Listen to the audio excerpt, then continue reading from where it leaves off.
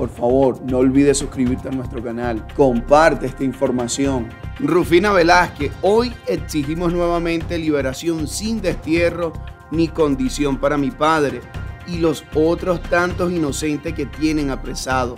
El ojo del mundo está puesto sobre el gobierno cubano y todos los crímenes cometidos. El pueblo tiene respaldo. Buenas noches, hoy es marzo 27, un poco después de las 9 de la noche, y no hemos tenido confirmación alguna sobre el estado de mi papá.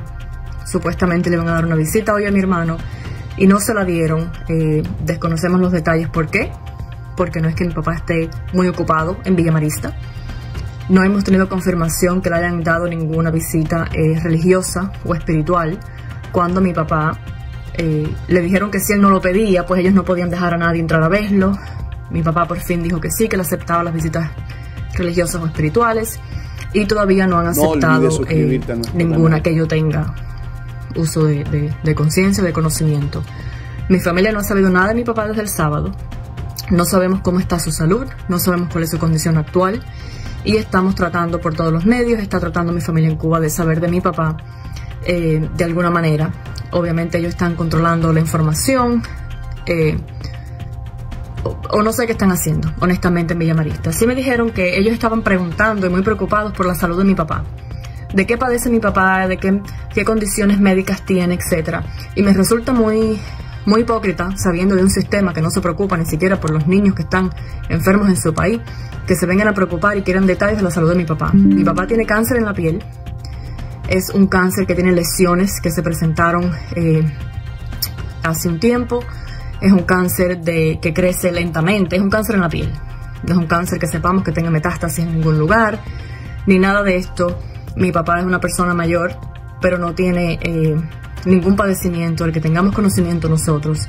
Y no quisiera pensar que ellos están preocupados por la salud de mi padre para buscar alguna excusa de que algo le pueda pasar a él y sea por sus eh, condiciones de salud. No tiene ninguna. Mi padre fue a Cuba saludable. Mi padre se pasó 13 días en huelga de hambre y sabemos que eso debilita el sistema.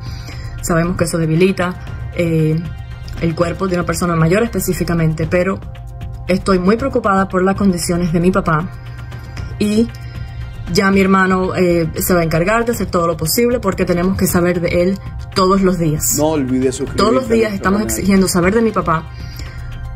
Y primero que saber de él, estamos exigiendo todos los días liberación sin destierro ni condiciones.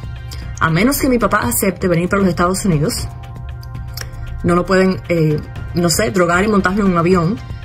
Y no lo han acusado de nada formalmente. Esto es un secuestro. Les guste a ustedes o no, esto se llama secuestrar a las personas. Todas las personas que detuvieron el 17 de marzo, sí el presidente Miguel Díaz Canel salió en televisión diciendo que las personas no estaban protestando por nada contra el gobierno, que las personas solamente estaban exponiendo sus problemas y que fueron atentamente escuchados. ¿Dónde están las personas que detuvieron el 17 de marzo? Entonces el gobierno cubano ya no sabe qué hacer, pero tampoco podemos dejar meternos el dedo en la boca y dejarlos que hagan lo que quieran. En Cuba, aunque no se respeten, tú como ser humano tienes derechos y tienes que empezar a utilizarlos, porque solamente te los van a seguir pisoteando y se van a hacer los de la vista gorda y tenemos que empezar a utilizar esos derechos. Mi familia lo está haciendo en todo lo posible, las familias de las personas que se llevaron el 17 de marzo usen sus derechos. ¿Dónde están estas personas? ¿De qué están siendo acusadas? Y exigimos su liberación inmediata e incondicional ante los ojos del mundo, ante los ojos del pueblo de Cuba, no podemos seguir diciendo, no, esto es como ellos lo hacen y, es así porque, bueno, uno tiene que aguantar y esto es lo que ellos hacen. Basta ya de seguir aguantando.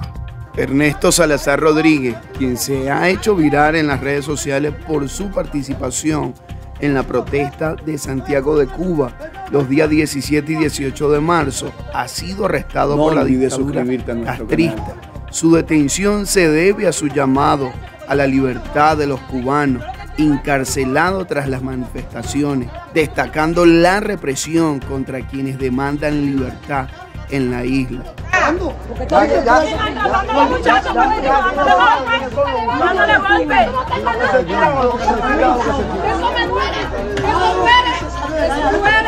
Para allá buscar can- el candela, candela, todo el mundo está en candela.